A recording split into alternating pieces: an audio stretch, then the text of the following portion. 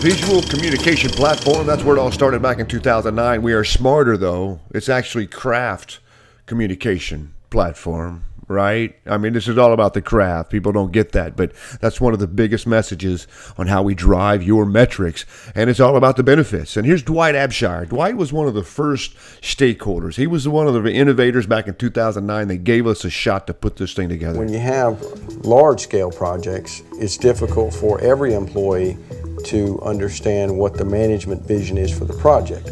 Well, if you have a tool such as this, then you can communicate that um, and you can communicate it often. Often. You see, that's the key. We can do video over and over. It's called frequency. And that's how we drive your metrics. And that's one of the biggest benefits of the VCP.